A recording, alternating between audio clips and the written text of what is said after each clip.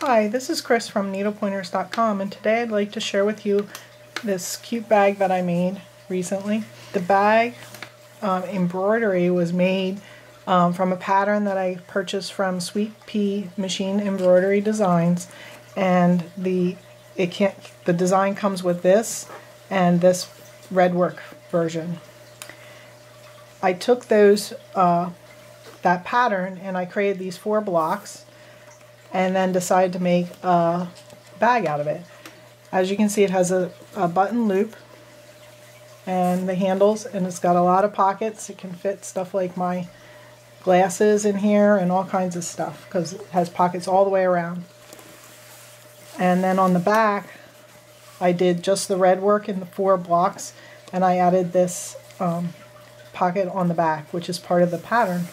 The pattern I use for the bag is is by Quilts Illustrated and it's the uh, mini Bow-Tucks pattern.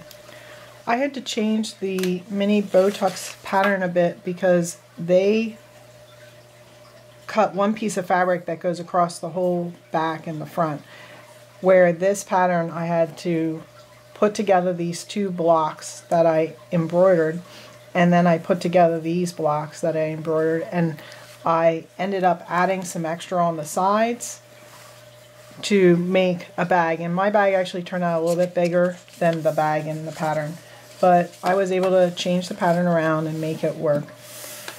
If you'd like to see more photos on this project and find out where to find the pattern that I use for the embroidery and this uh, Quilts Illustrated pattern, please click on the iCard or look for a link in the description of the video.